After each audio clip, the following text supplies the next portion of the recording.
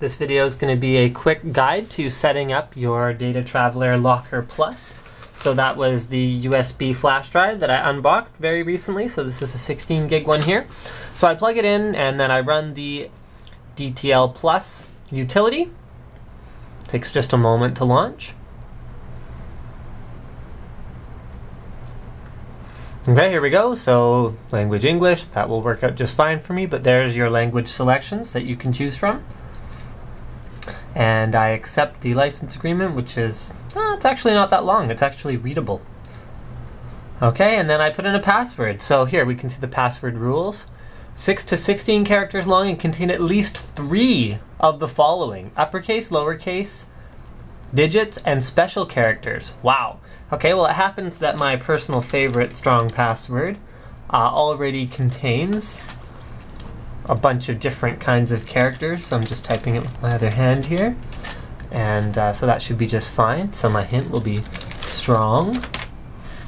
Okay. There we are. I can wow, I can put in my name. Okay, so I'll put my name. My company, as most of you already know, is NCIX. And then details, I don't really have any. Okay, so go ahead and finish. So it's formatting the drive. We'll see how long that takes. Hopefully not too long. Oh, done. Okay. So that was it. So can we open the drive now? Oh yes, we can. Okay, so there, I opened up uh, another Explorer window and it's given me the option to open up the drive. Okay, well why don't we do a quick speed test while we're at it. So let's grab a large file, like a, uh, say for example, a video file and copy it over there. So this is a 799 meg file and I'll let you guys do the timing if you feel like it. But we can see what Windows reports as the speed, which isn't actually too bad for uh, just a, a, normal USB flash drive. Some of the quad channel ones will do up to about 25 megabytes per second, so I assume this one's a dual channel one. This should be done fairly shortly. I guess I could have chosen a smaller video file if I really wanted to. Uh... Anyway, the advantage that you get with the Locker Plus is that you have the data encryption. So what I'm going to do is once this file is on the drive, I'm going to take it out, put it back in the computer, and then uh, we'll see the little prompt where it should uh, ask for a password before I can actually access the drive.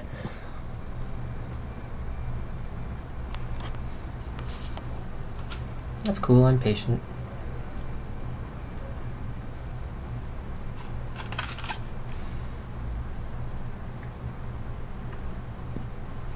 Almost done. And there we go. So the file is copied. So I'm going to go ahead and pull it out of the computer now. I can find it. There it is. Okay, we have removed it. Now let's try again. Plug it in.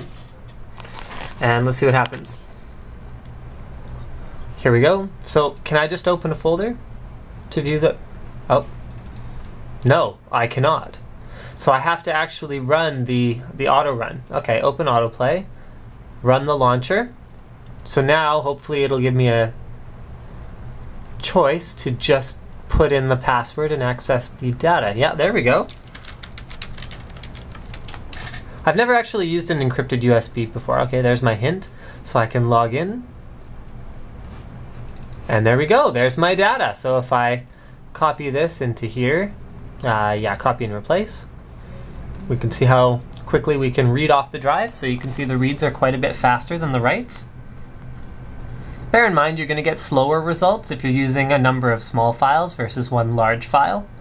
So I'm, I'm giving it every advantage here to prove its best case scenario, but there you have it.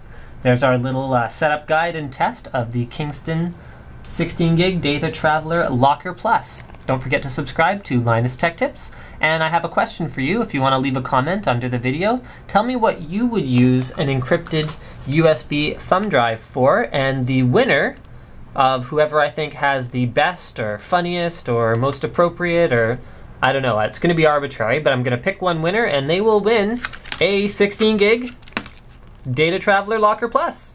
So that's pretty cool, right? Leave a comment.